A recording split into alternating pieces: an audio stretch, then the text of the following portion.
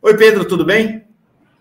Bom dia, Mauro, tudo bem? Bom dia a todos. Eu agradeço aí pela, pela introdução, por, por me chamar de especialista, mas uh, à sombra de Manuel Domingos Neto, de Ana Penido, de Hector Luiz Sampierre, uh, eu, eu devo dizer que não, não sou especialista, eles que são.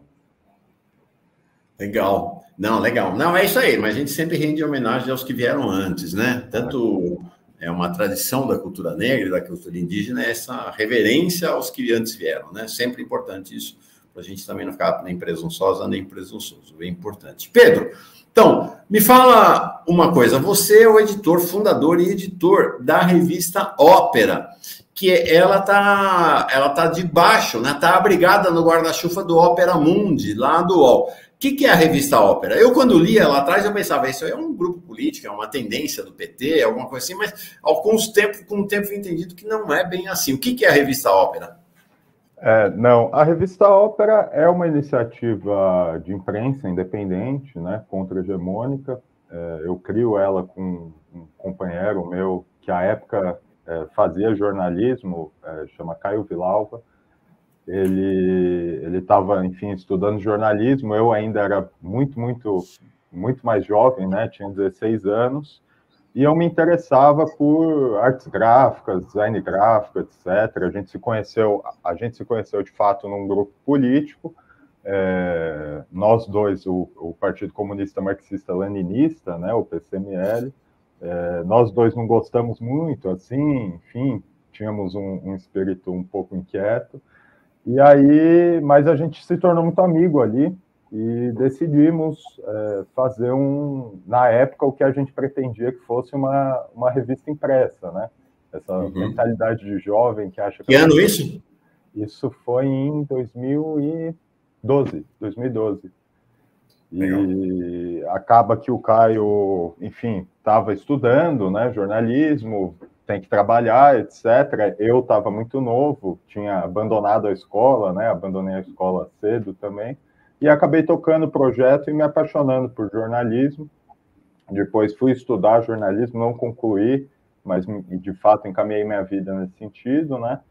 E a gente está aí há 12 anos, é um, é um veículo independente, e no ano passado a gente começou a se abrigar de fato sob o guarda-chuva do Opera Mundi, fizemos ali uma parceria, é, e hoje é, continuamos assim, mas a linha editorial fundamentalmente é a mesma, né? Legal. Legal. Comecei no jornalismo também aos 16 anos de idade, isso em 76, puxa, é, no Cobra de Vidro. Era um jornal aí, sim, impresso. É, a primeira edição que eu participei foi a última edição em tipografia, para vocês terem uma ideia. Uhum. Né? Ainda era numa rua famosa do Bom Retiro, em São Paulo, a Rua dos Italianos, daqueles gráficos espanhóis e italianos anarquistas. Então, era máquinas enormes, caía, eles iam digitando e ia caindo chumbo. Era um negócio assim, era, era outro mundo, era outra. Não tem nada a ver com a imprensa de hoje, não. É, mas é isso, né? A gente vai entrando e vai se apaixonando, né? O jornalismo realmente, a gente diz nas redações, é cachaça, né? Pega mesmo, não larga mais. E quando é que você começou a se interessar pelo tema militar? Quando é que ele então, entrou na vida? O, o, o meu interesse quanto ao tema militar, é, de certa forma, eu já estava me encaminhando para isso ali desde o começo, porque eu, eu sempre me importei muito em tentar entender a dimensão estratégica da política, né? A dimensão, é, o que se poderia dizer algo que diz respeito ao realismo político, né? Fui muito influenciado por Maquiavel, esse tipo de coisa.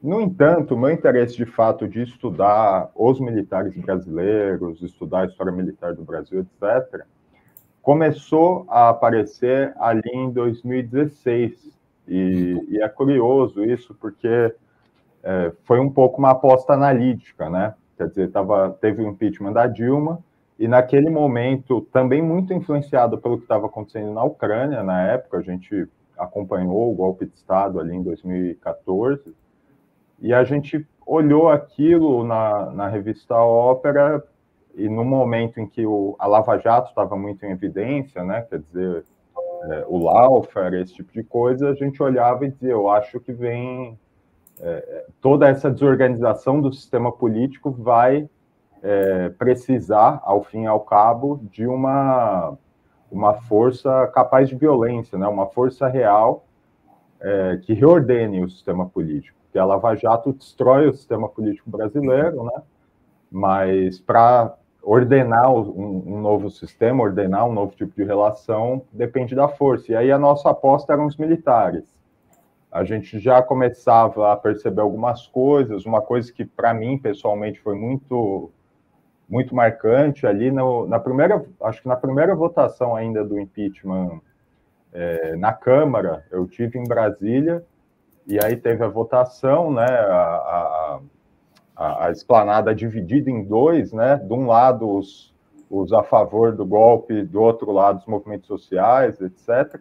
Acaba a votação e tem uma repressão assim muito dura em cima dos movimentos sociais e uma coisa que não era comum até então, nesse tipo de, de, de evento, que você tinha ali a presença das grandes centrais sindicais, dos grandes movimentos, o MST, etc.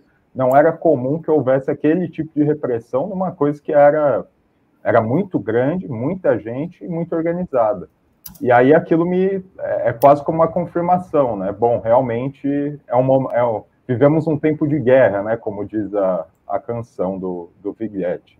Uhum. E, e, e, aí, logo depois disso, é, é como se essa aposta analítica tivesse uma confirmação quando o Temer começa a fazer uma série de LOs no governo dele. No primeiro ato do governo dele, ele reorganiza o Gabinete de Segurança Institucional, traz militares para o governo dele já também, faz essas LOs, como eu disse, e depois a, a intervenção federal no Rio de Janeiro, né?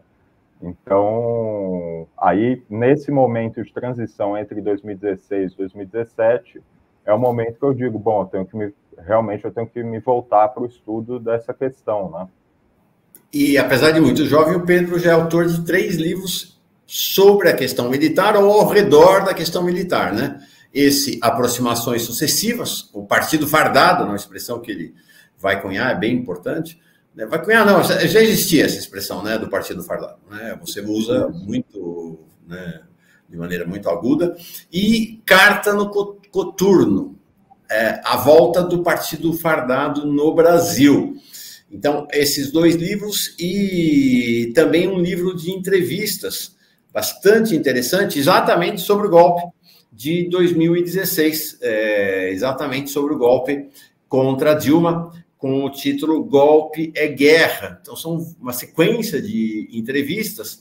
Aí estão nessas entrevistas o Aldo Fornazieri, Angélica Lovato, Guilherme Boulos e o Luiz Carlos Bresser Pereira. Então, tá aí, né, os três livros de Pedro Marim, bem importantes. Quem quiser ler, tá aí. Legal. Pedro, bom, queria saber o seguinte: primeiro, conta para nós o que foi essa revolta da Chibata e depois vamos falar sobre essa reação da Marinha agora, né? Do comandante da Marinha, antigamente o ministro da Marinha. Ele é comandante da Marinha, mas está atuando na prática como ministro da Marinha, né? Como durante a ditadura militar. O que, que foi a revolta da Chibata? Perfeito. Bom, Mauro, é, eu acho que primeiro a gente tem que entender um pouquinho o contexto, né? Que a revolta se dá. A primeira revolta é, da Chibata acontece ali no começa no dia 22 de novembro de 1910, é, os, a Marujada, né, toma-se a poça de quatro navios de guerra, né, o Minas Gerais, o São Paulo, eu não vou lembrar de todos, é, mas se apossam desses, de, desses navios encoraçados, etc., e reivindicam o fim da chibata na Marinha, é, fazem reivindicações ali em relação. Eu, eu, eu, vi até que você mencionou, isso é importante, porque o Olsen diz na carta dele, né, nessa carta de hoje, atacando, aí sim atacando João Cândido, né, ele diz que a, ah, eles reivindicavam a saída de, de, de comandantes como se isso coubesse a eles, faz uma coisa assim, né? O que eles reivindicavam ali é evidente para qualquer um. Na carta está tá escrito de uma forma realmente que você pode manipular nesse sentido, mas os comandantes que eles reivindicavam que fossem retirados do, da Marinha eram aqueles comandantes que abusavam da chibata, que realmente mandavam ali é, castigos físicos terríveis. Né? E aí eles se, se rebelam a partir de 20, é, do dia 22 de novembro. Durante cinco, seis dias fica uma situação, é, digamos, eles têm a vantagem estratégica, porque estão com seus canhões apontados para a capital federal, e a revolta acaba, como você disse, né, a sua introdução eu ouvi aqui, foi muito boa, é, acaba com uma anistia que não é cumprida, que é traída, esses, uhum. esses marinheiros são, são presos, são retirados do exército, são mortos, alguns são enviados para o Acre para trabalharem trabalharem numa situação de escravidão ou semi-escravidão, é, é, retirando borracha, né, é, fazendo como seringueiros. É, o João Cândido, inclusive, é um dos que é, era para ter sido morto, não foi morto realmente por um milagre, porque ele é encerrado numa, numa cela na Ilha das Cobras com outros 17 marinheiros. E essa uhum. cela era uma cela é, cavada assim numa, numa espécie de rocha, né? E aí esses 18 marinheiros estão ali dentro, a carceragem faz uma mistura de cal com, com água e joga dentro dessa cela, assim, baldes e mais baldes de cal com água, fecham a cela num calor é, terrível do Rio de Janeiro em dezembro, é, e deixam a célula fechada efetivamente para eles morrerem como tal como um procedimento nazista, né? Você encerra o, o prisioneiro e joga químico lá dentro para ele morrer. 16 marinheiros morrem, de fato, né? O cal, a cal é, evapora daquela mistura com água, toma o, o sistema respiratório, a pessoa é, se, se asfixia e etc. É, mas o João Cândido e mais um outro marinheiro sobrevivem, né? Quando abrem a porta, há ali 16 cadáveres de, de marinheiros rebeldes e, e, dois, dois homens numa situação deplorável, obviamente, mas vivos ainda, né? Então foi assim que a Marinha, após a revolta, traiu os marinheiros, né? Não só, não é como se eles só tivessem retirado eles do, do quadro efetivo da Marinha, efetivamente tentaram matar, mataram muitos deles, aprisionaram, é, enviaram para serem escravos, para um desterro em escravidão, né?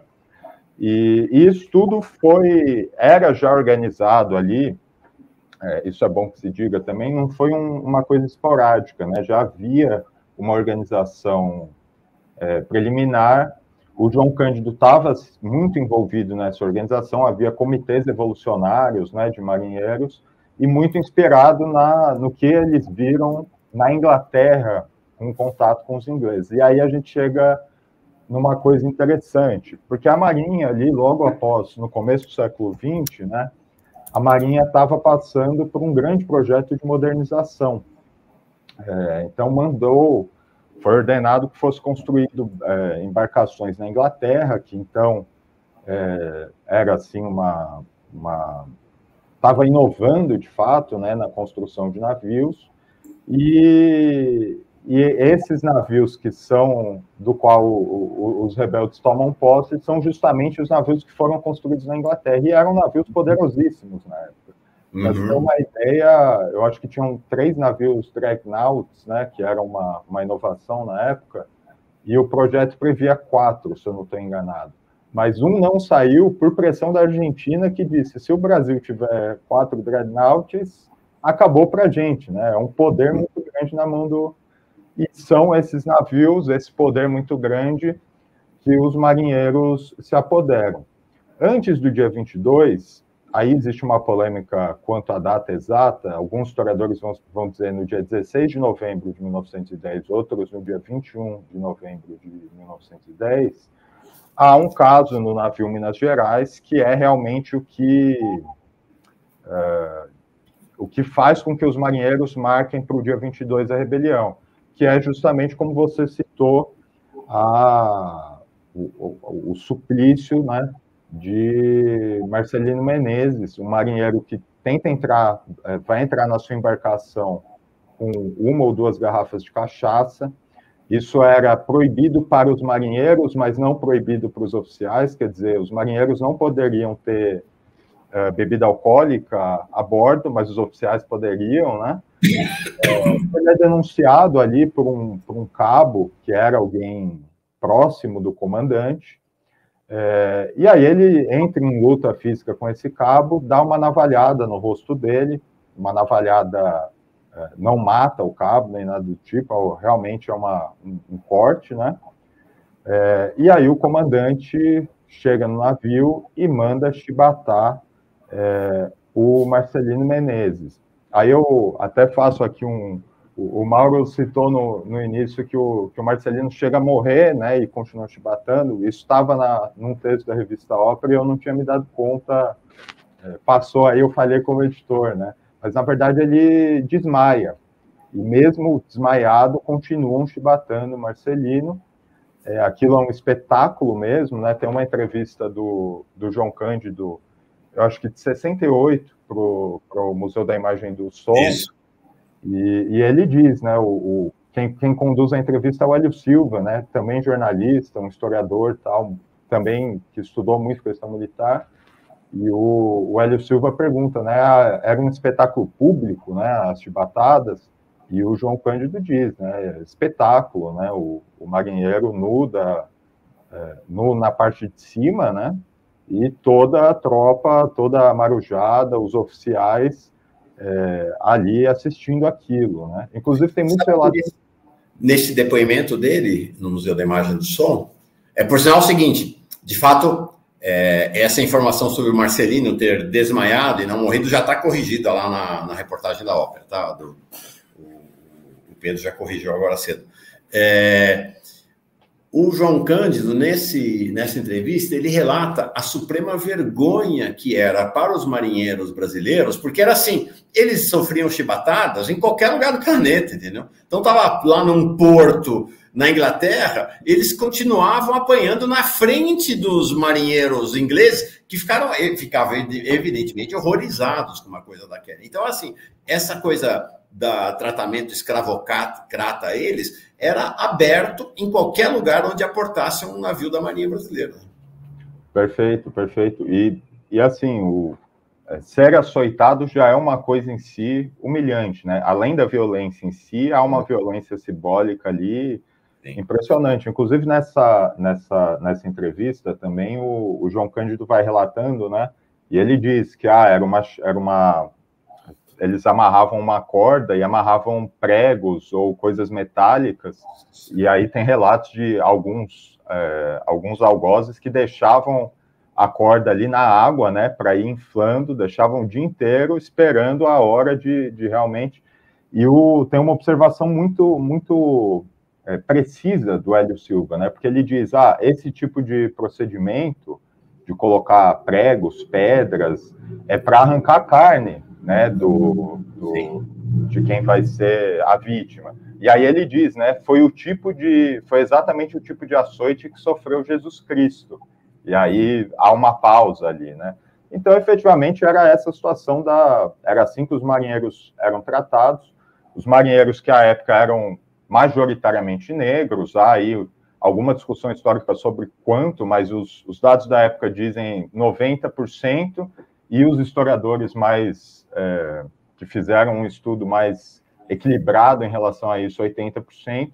Uma boa parte desses marinheiros eram ou recrutados à força, ou vinham, por exemplo, é, a polícia recrutava à força, né? Então, é, pequenos criminosos, é, crianças abandon menores abandonados, é, crianças cujos pais não tinham condição de, de, de educar, Quer dizer, eram, de fato, acabavam na Marinha, né? Uhum. É, e, portanto, não, não impressiona essa quantidade de, de homens negros servindo a Marinha, então, né? E aí, enfim, a, acontece isso, tem a revolta, ao fim se tem a anistia, mas a anistia não é respeitada. Agora, Mauro, tem um, um aspecto interessante, é, porque nós conhecemos né, a, a história do João Cândido, mas muitas vezes a gente se esquece de perguntar, e o comandante, né? E aquele comandante que mandou é, chibatar o Marcelino Menezes? Esse comandante, o João Batista, João Batista das Neves, se eu não estou enganado, ele, ele é morto durante a revolta da Chibata, né? ele entra em luta corporal ali com os marinheiros, tentando se apossar do, do comando do, do, da embarcação, Minas Gerais. Ele é morto e ele é, é promovido pós-mortem a almirante. Né? Nossa né? Senhora. E enquanto. E aí é uma coisa muito, muito curiosa, né? Porque o, o algoz, aquele que mandava chicotear, é promovido pós-mortem a almirante Enquanto o João Cândido, por exemplo, expulso da Marinha, perseguido, é, vai acabar a sua vida é, sendo um pescador. É claro que não tem nada de errado em ser um pescador, mas assim, vivendo numa situação muito difícil, vivendo da pesca efetivamente. É, você vê que realmente era um homem que amava o mar, né? Ele até diz numa entrevista: o mar era meu amigo, né? Uhum. E ele tinha conquistado a anistia eles traem a anistia e o João Cândido vai ter a sua anistia pós-mortem recolocada, se eu não estou enganado, em 2007 ou 2004, algo assim, por um projeto, inclusive, da então senadora uh, Marina Silva. Então, uhum. veja, o torturador foi promovido e o herói foi, foi passou uma vida de humilhações, de perseguições, e só teve aquilo que lhe foi garantido na sua revolta né? Aquela anistia que tinha sido oferecida e acordada, é, depois, pós-mortem, né, também. E aí existe também um outro, um outro aspecto interessante, Mauro, porque o, na sua carta, né, o Olsen diz ali que ah, isso seria é, é, fazer uma homenagem a João Cândido seria como que dar um exemplo para os militares de hoje de que eles podem é, usar das armas para pressionar é, a sociedade, etc. E ele diz que a gente não pode dar esse exemplo para a sociedade brasileira, especialmente para os militares. E aí eu me pergunto se por acaso é, um comandante de navio que açoita é, as suas tropas, e açoita, veja, existe um aspecto importante. A Constituição republicana, a Constituição de 1890, ela aboliu os castigos físicos, inclusive aboliu na Marinha. E aí tem muita pressão do, dos oficiais dentro da Marinha para que esses castigos físicos sejam retomados. Ou seja, não era uma não é que hoje ficou feio açoitar negros. Na uhum. época já era feio. A própria Constituição dizia que, que não podia mas eles pressionam, se cria ali uma, uma espécie de legislação paralela da Marinha permitindo isso.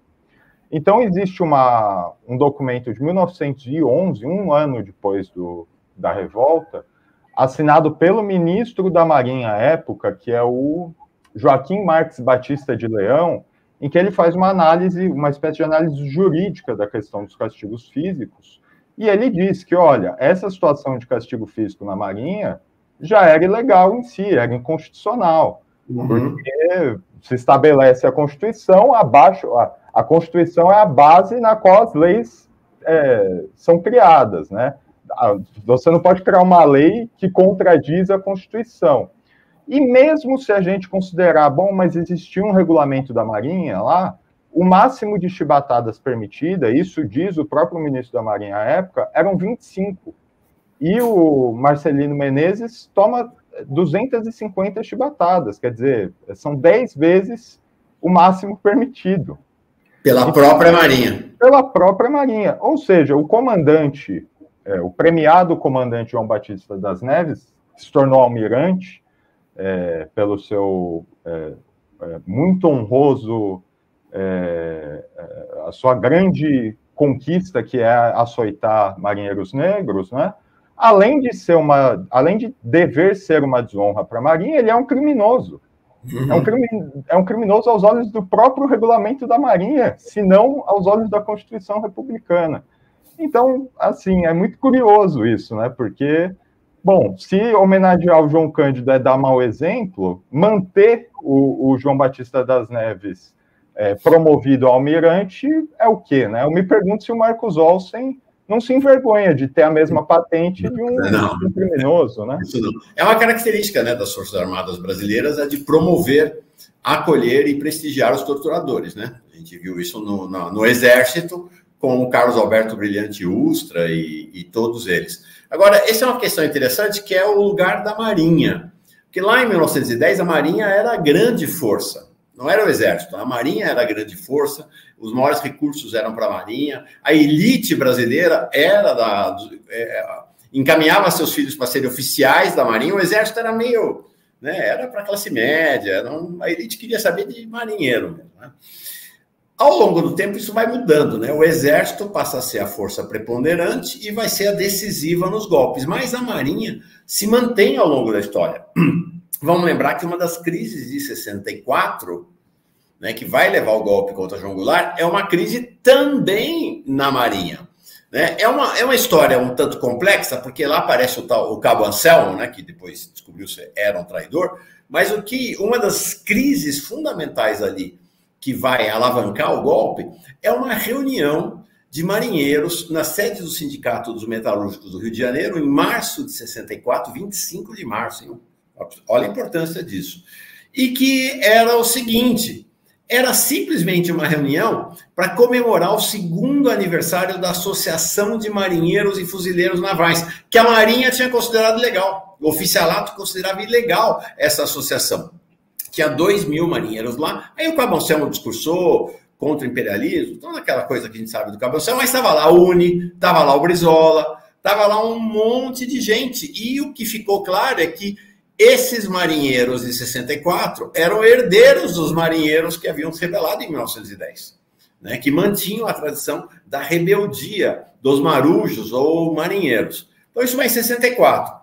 Em 1970, falamos aqui, a Marinha tem um papel. Bom, aí vem a ditadura. Ao longo dos anos 70, especialmente, a Marinha vai ter um papel destacado como uma das protagonistas dos ambientes de tortura e assassinato. Lá na Restinga da Marambaia, ainda hoje existe unidade militar lá, né? na Restinga da Marambaia, lá no Rio de Janeiro, foi um dos principais centros de tortura militar do país, da Marinha né, da Marinha. E é interessante, inclusive, que uh, naquele comício de 2018, que encerra a campanha do Bolsonaro, que ele vai fazer por, por vídeo, ele não estava lá na Paulista, ele vai falar que aos vermelhos nós vamos fazer, e as pessoas não entenderam na época, né? Nós vamos fazer o que fizemos no passado, que é mandar para a ponta da praia.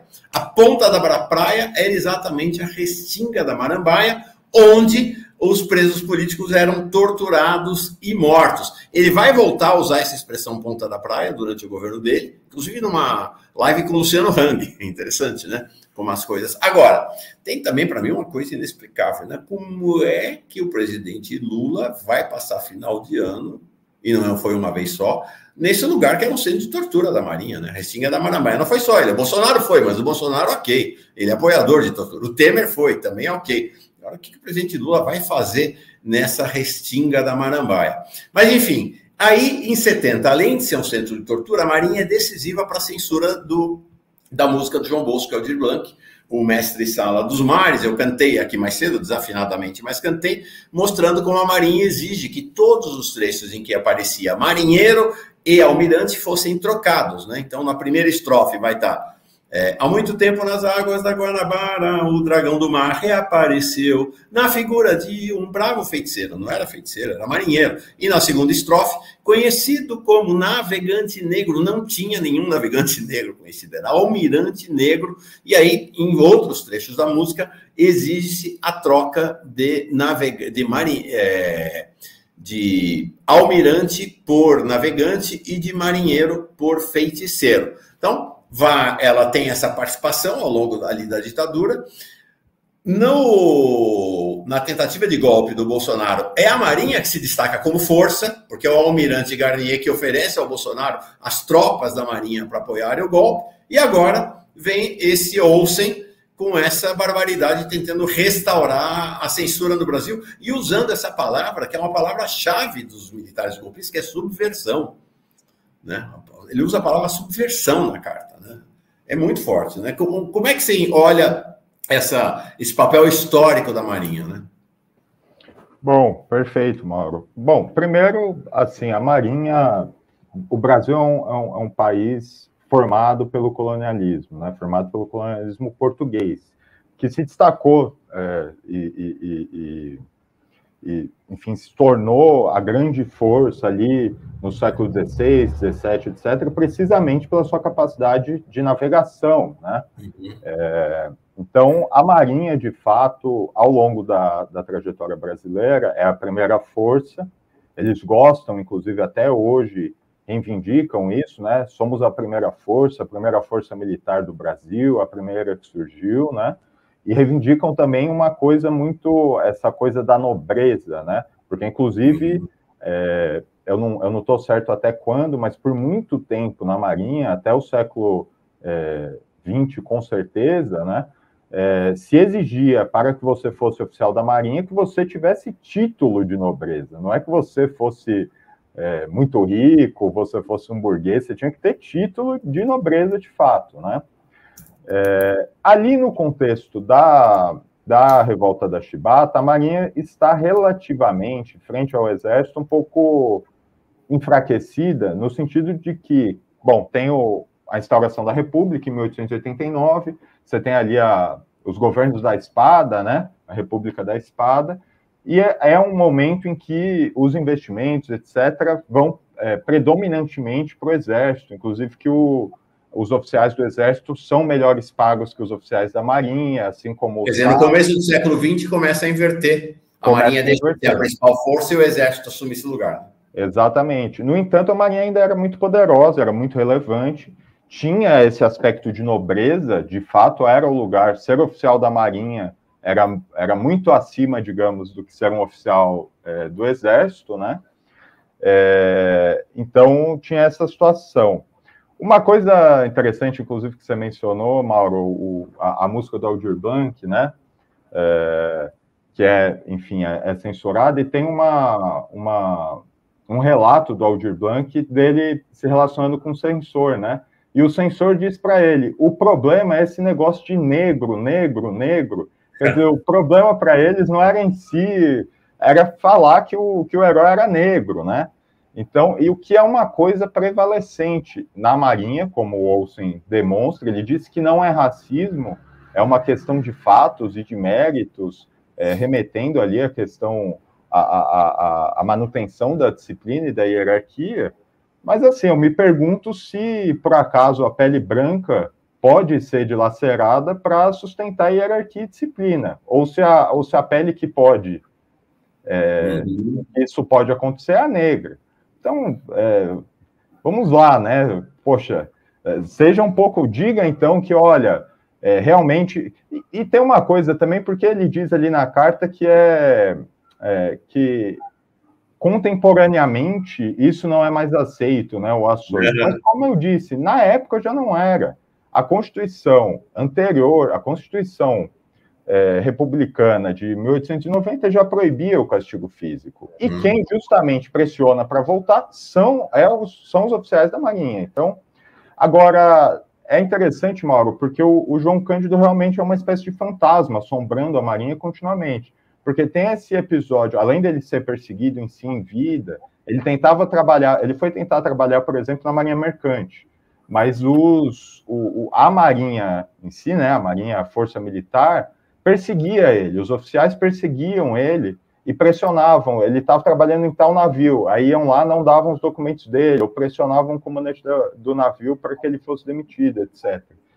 E aí tem esse, esse fato da, da canção do Aldir Blanc, tem o, o que vocês mencionaram, né, a estátua dele, que desde a década de 80 é, já tinha um projeto de fazer a estátua dele de frente para o mar, numa região ali, é, se não é, não sei se é propriedade da Marinha exatamente, mas está nos arredores de, de instalações militares da Marinha. A Marinha barra isso, mas tem também um, um fato curioso, que é que a, a escola de samba União da, União da Ilha do Governador, eu acho que em, na década de 80, deixa eu confirmar, em 85, eles saem com samba enredo em homenagem ao João Cândido. E existe uma pressão absurda em cima da escola de samba. Ah, é? Não sabia disso. Parte da Marinha para que é, para mudar ali as coisas, inclusive porque a Marinha temia que no desfile de carnaval é, aparecessem pessoas é, é, é usando o uniforme da Marinha e açoitando outros marinheiros. E aí eles fazem uma pressão incrível sobre, sobre a escola de samba. Não. No, no fim, acaba saindo de fato um enredo e um desfile um pouco mais moderado. Existiam funcionários públicos que iam desfilar na União da Ilha do Governador e eles acabam abandonando, né, falando, não, não vou desfilar porque isso vai dar problema, a Marinha está pressionando, etc. E aí é, é, curioso porque finalmente, em 2024, nesse ano, teve um, um desfile né, no, no, Rio que homenageou o João Cândido e aonde há, é, de fato, a, o, o, primeiro carro ali, né, eu, eu acho que é o Abre Alas, não, não, não, conheço tanto de carnaval assim, mas o primeiro carro mostra, de fato, uh, os marinheiros sendo açoitados. Né? Uhum. Aliás, é um, é, um, é um desfile muito bonito da da Tuiuti. Foi a Tuiuti. É, mas, assim, agora, quanto a essa questão da subversão, a Marinha, o, o, que eu acho que é, a gente deve observar aí é, é o seguinte, né? Os, o, o, Lula disse ali no, no contexto do, das comemorações do golpe de que ah, não quer remoer o passado, de que a gente não quer olhar para trás, etc. Mas você veja como a Marinha não abre, a Marinha, por exemplo, não abre mão de uma coisa que aconteceu há mais de um século. Não abre mão, e uma coisa terrível que, que foi feita, uma coisa, como eu demonstrei, criminosa para os próprios regramentos da Marinha, e eles ainda assim não abrem mão. Então veja que o, os militares eles têm uma concepção entre de como o passado e o presente se ligam, né? que é muito, muito dura e muito afiada. Isso é muito importante para eles. Então a gente deveria, é, deveria considerar isso importante para nós também, né? E, e esse não aceitar esse tipo de pressão militar. Eles, é, eles, por boa vontade, eles não vão, não vão abrir. Mas aí eu, eu remeto justamente ao, ao Candinho, ao filho de João Cândido, né? Bom, o João Cândido já é um herói do povo, uhum. ele não precisa ser um, um herói da Marinha. Tudo bem, eu, eu estou absolutamente de acordo. Agora, se há um governo, se o povo considera João Cândido um herói, a Marinha se negar é, emitir carta pressionando deputados, pressionando o Congresso a não reconhecê-lo como herói, é um aspecto de tutela. É a Marinha querendo dizer quem é herói ou não para o povo. Porque, uhum. veja, ninguém estava propondo que o João Cândido fosse patrono da Marinha. Seria bom, porque aí significaria uma marinha, um outro tipo de marinha. É o herói do é, é, livro de heróis e heroínas da pátria. João uhum. Cândido é um herói da pátria. Agora, Pedro, é, essa é uma questão interessante, de fato. Há uma tendência uh, que é representada hoje pelo presidente Lula, com apoio de alguns setores da esquerda, diga-se de passagem, que é um pouco essa ideia de virar a página. Eu lembro que quando o Galo, lá dos motoristas de aplicativo de São Paulo, liderou aquela o ataque e o incêndio à estátua do Borba Gato, um bandeirante é, é, genocida, né, chacinador, dos povos indígenas, houve uma reação de parte da esquerda violenta contra eles também, dizendo que não, isso é o passado, tem que virar página, isso vai atrapalhar a eleição do Lula, toda uma conversa nesse sentido. Então parece que o presidente Lula ele está nesse momento representando uma visão de parte da esquerda, parte do PT, com essa ideia de que é preciso reconciliar o país e que para reconciliar o país tem que virar página. Acho que é isso que está na origem dessa decisão dele de proibir liminarmente qualquer manifestação oficial nos 60 anos da ditadura e vetar a construção do Museu da Resistência e da Democracia na Praça dos Três Poderes. Mas você traz uma questão interessante, que é assim, os militares que não são bobos nem nada, não caem nessa conversa. Não caem nessa conversa. Eles sabem que o, a disputa da história é disputa do presente e do futuro. Quando ele está mandando essa carta lá, ele não está disputando o passado apenas, ele está disputando o presente do país. Né? Quando os, os militares, o, o, o, clube militar, constituído por militares da reserva, que são uma extensão dos militares da ativa, celebram 64 né, contra a posição do Lula, eles sabem que eles estão disputando o momento presente do país. Não apenas não é museu, não se trata de museu, né? Eu acho que essa é uma questão grave, porque nós estamos perdendo. Portanto, só tem um lado disputando, né? O outro não está. Você sabe qual é o final dessa história, né? Vão perder. perder. Não, perfeito, Mauro. E faço uma observação mais em relação a isso. Se a, a esquerda não quer, a centro-esquerda, né? É, o governo, inclusive, não quer dar vazão a uma disputa em termos de o que foi a história, quais são os valores que deviam nortear uma Forças Armadas efetivamente democráticas, etc. As próprias Forças Armadas fazem isso, mas digo mais, a extrema-direita faz isso. Uhum, Porque algumas sim. semanas nós tivemos aí os, os comandantes, o, eu, eu, digo sempre, né, os quatro comandantes militares, porque é o da Marinha, o do Exército, o da, da Aeronáutica e o Múcio, que se comporta como se fosse comandante de alguma força, né? É o escudeiro dos comandantes, né? É, eles foram para o Congresso discutir ali num, numa, numa sessão especial, eu acho que era da Comissão de Defesa, uhum. é, ou, ou, ou, Comissão de Relações Exteriores, enfim, não me lembro, mas foram lá para discutir, etc. E é muito. É um, foi um espetáculo de parvidão, assim, porque os comandantes, o que, que eles tinham para para mostrar, fundamentalmente, era a gente entrega caixa, entrega água no Nordeste, que é importantíssimo, é importante que as pessoas tenham água, só não é atribuição das Forças Armadas fazer isso, quem devia fazer era uma defesa civil, o governo, enfim, não as Forças Armadas. É, só, só, tem, só tinham esse tipo de coisa para mostrar, nós ajudamos não sei aonde, etc., que serve como propaganda. Aí a centro-esquerda ali, os deputados ligados ao PT, etc., que falaram. Queriam discutir defesa, queriam discutir desenvolvimento nacional, mas não tocavam nas questões políticas de forma alguma. O Centrão, os conservadores, o pessoal do Republicanos, etc., a parte, a direita que está dentro do governo, ficou puxando o saco dos comandantes, mas isso é, é meio que o ofício deles em si, né? É assim que eles sobrevivem. E a extrema-direita, naquela comissão, com um discurso duríssimo, inclusive pressionando os comandantes, atacando os comandantes. E a gente pode dizer, bom, então, isso é bom para a gente, porque os comandantes então vão odiar a extrema-direita. Não, porque isso, a política não serve, não funciona assim. Você é, joga peso para um lado, mesmo que individualmente o comandante fale, eu não gosto do Nicolas Ferreira, eu não gosto do fulano, mas isso cria movimento. Isso uhum. cria um discurso na sociedade, as pessoas se mobilizam em torno disso. Então, se a gente não fizer a disputa, vai ser impossível mudar as Forças Armadas. E a gente vê que as Forças Armadas, e não é só a Marinha, isso é uma coisa que eu acho que não vai dar tempo de dizer, mas o Exército também tem um problema gravíssimo com o seu passado e com a questão racial. O Exército gosta de se, é, de se colocar como se fosse a força abolicionista, a força que ajudou na abolição, etc., mas são hipócritas.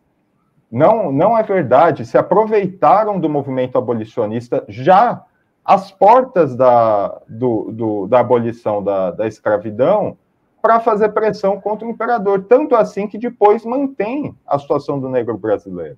São os, o, é o Deodoro da Fonseca, um grande comandante do, do exército, que toma posse como presidente. O que Deodoro fez pelo negro brasileiro? Depois tem o Floriano, o que fez Floriano pelo negro brasileiro? Não fizeram absolutamente nada. E usam, além de tudo, criam uma mitologia também racista. A gente, hoje em dia, está muito comum a gente bater nessa ideia da democracia racial, né, mobilizada pelo Gilberto Freire. O Exército, a partir da década de 90, isso está hoje nos sites oficiais, nos documentos oficiais, diz que o seu nascimento se deu na, no, no, século XVII, na Batalha dos Guararapes. Por quê? Porque seria a união do negro, do indígena e do português. É curioso, porque em Palmares, que acontecia na mesma época e que não durou um ano, não é uma guerra que foi de é, 1648 a 1649, como a Batalha dos Guararapes. Palmares durou aí quase um século. Uma, uma uhum. sociedade organizada, é, com hierarquia social, etc. É, é, eles é, e aonde também viviam brancos, indígenas e negros, e onde existia uma questão militar, existia um elemento militar muito óbvio em Palmares, mas eles reivindicam Guararapes para não reivindicar, para não reivindicar Palmares, né? Então é uma, isso é uma coisa que a gente também poderia. Eu estou preparando um artigo nesse. Ah, legal. Vamos voltar a falar sobre isso, então. Claro. Para encerrar, é, ou a, a, penúltima, há alguma notícia de que o comandante da Marinha, Marcos Olsen, tenha sido advertido pelo comandante, pelo ministro da Defesa, José Múcio, ou pelo presidente da República, que afinal é o comandante máximo das Forças Armadas, por essa carta dele se miscuindo em assuntos que não tem nada a ver com a Marinha? Olha, até agora nada. É, eu acho que, que não vai haver, de fato. Quer dizer, pelo menos até ontem, né? Hoje, hoje pela manhã eu não acompanhei as notícias, então. Mas eu é, duvido muito, eu, eu tenho um, uma certa uma certa confiança nisso, porque me parece que não vão discutir isso. É, e é uma, uma, outra coisa, Mauro, importante. Essa carta é uma pressão, é uma pressão indevida da Marinha sobre, não só sobre o povo brasileiro, sobre a memória do povo brasileiro, sobre, mas sobre o Congresso em si. Sim. É uma carta. O Olsen diz ali que ah, ele até faz um, um pouco um, tira um pouco o corpo, né? Porque ele diz que ah, não estou meio que não estou querendo pressionar. Bom, então cale-se. então não mande a carta. É assim que não se pressiona, não se manifestando. É uma questão que diz respeito ao Congresso, é, que diz respeito ao povo brasileiro e não à Marinha. Como eu disse, não, não querem aprovar que João Cândido seja patrono da Marinha. Querem aprovar que ele seja reconhecido como um herói da pátria, que foi mesmo. A Marinha, pelo jeito, o herói dela é o João Batista das Neves, que mandou açoitar 250 vezes o marinheiro Menezes. Né? Para encerrar, Pedro, eu escrevi um artigo dia, em 8 de abril, um mês atrás, né? Um pouquinho é, menos de um mês atrás, dizendo que os sinais de um golpe futuro começam, as nuvens começam a, a ficar carregadas, né? Então a gente tem o rompimento da frente amplíssima, né? Porque a frente amplíssima contra Bolsonaro, que juntou uh, a mídia conservadora, que acabou juntando o Centrão depois da eleição, é importante dizer que o Centrão apoiou o Bolsonaro na eleição, mas que levou ao embarque do Centrão para dentro do governo, ela dá sinais de fratura. Acho que as sinais de fratura a gente vê que a mídia conservadora, que até agora só disputava a questão econômica com o governo, ela só disputava, né? Eu acho, acho perfeita a posição deles, né? O problema é que a esquerda não faz isso, né? Eles estavam na frente ampla, mas nas questões econômicas eles eram implacáveis na defesa das posições deles, enquanto a esquerda, a esquerda abre mão de tudo. É, mas de abril para cá eles começam a transitar para também uma crítica política ao governo Lula. Eles saem na defesa do Moro, achei incrível isso. Eles saem na defesa do Moro, são contra a condenação do Moro, claramente estão a favor da absolvição do Jorge Seife nesse momento, então você começa a ter uma fratura política. E acho que este elemento da Marinha, ele é grave, não apenas pelo episódio em si, mas porque ele vai compondo esse quadro dos militares voltando ao protagonismo político. Não sei o que lhe parece. Né? Não, perfeito, eu estou de acordo. Eu li esse seu artigo à época, né? Achei muito uhum. bom, muito, muito correto e concordo com ele, porque é, veja, o problema de, desse tipo de posição em relação aos militares, né, de não, não se colocar, não, não estabelecer a relação republicana, né, a gente fala tanto de relação republicana, né, a, imprensa até gosta disso, né, que você tem que ser bonitinho, não sei o quê.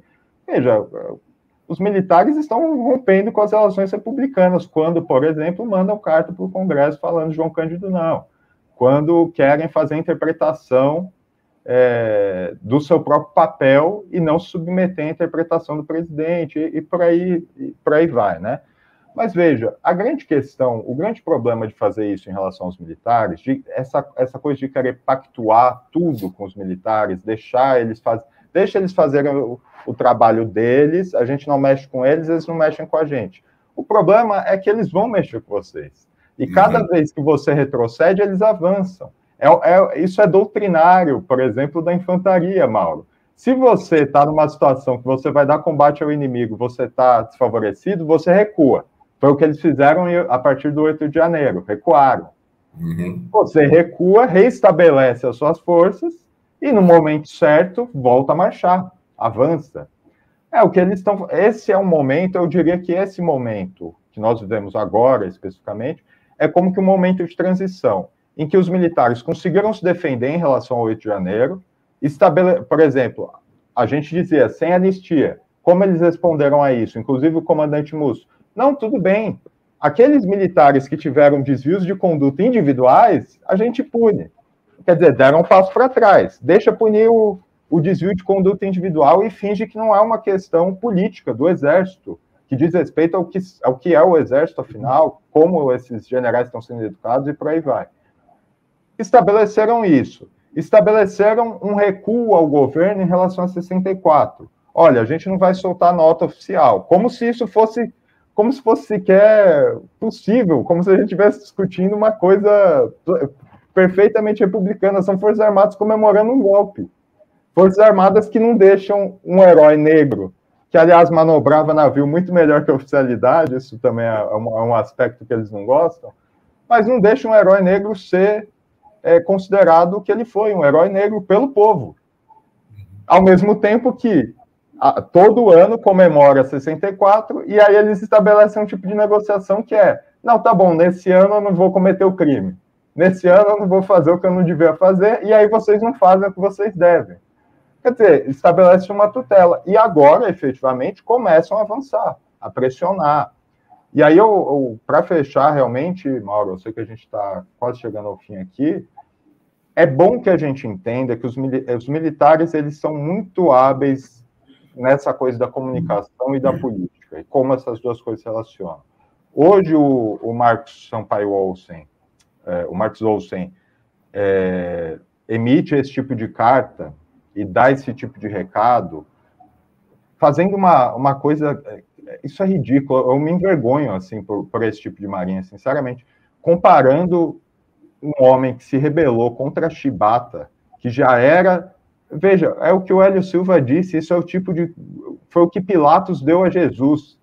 E vocês querem comparar isso com os golpistas do 8 de janeiro, porque ele faz essa comparação ali na carta, né? Estabelece esse paralelo. Qual que é o, é o, grande problema? Se a gente voltar lá, por exemplo, na época da abolição, o Exército tem um, uma passagem interessante que é da chamada questão militar. É, que o Exército, eles recebem o Dragão do Mar, é, também um herói negro, também um homem, um homem do mar, né, que se negou a transportar escravos ali no, no Ceará, eles chamam ele para o Rio de Janeiro para uma comemoração. Inclusive, o Exército diz, usa isso como prova de que não tem nada de uhum. racismo, etc. Esse é o discurso deles hoje, tá? Não, uhum. Racismo é dividir, falar em racismo é dividir o país. Publicaram aquele, republicaram aquele livro do Ali Camel, o Não Somos Racistas, pela editora do Exército, a Bibliex. Então, mas eles usam aquilo para criar uma crise com, com o Império, e aí eles começam a se manifestar na imprensa continuamente. O Império diz: vocês não podem se manifestar na imprensa porque vocês são militares. O Deodoro da Fonseca vai em defesa daqueles que estão se manifestando pela imprensa, e é aí que ele, além da, da trajetória anterior dele, mas é aí que ele ganha esse ar de um totem político, de uma liderança que pode ser seguida politicamente. Então, uhum. veja, não é pouca coisa essa carta do, do Olsen, e não o Olsen está só disputando quem que vai estar tá no livro dos, dos heróis e heroínas da pátria. É, é isso aí. Está disputando quem vai mandar no país. Como diz o decano dos analistas militares, um deles, né, é o Manuel Domingos Neto, o militar não entende diálogo, o militar entende de ou o militar é comandado ou o militar comanda, não tem terceira alternativa. No caso, como o atual governo não comanda os militares, eles começam a comandar cada vez mais. É o que você falou, é o espírito da infantaria. Pedro Marim, opa, caiu. Valeu, Pedro, obrigado demais. Adorei, viu? Muito obrigado. Obrigado, Mauro. Eu, eu que agradeço, é sempre um prazer falar aqui com você. Obrigado a todos também, todos e todas que assistiram. Valeu, abração.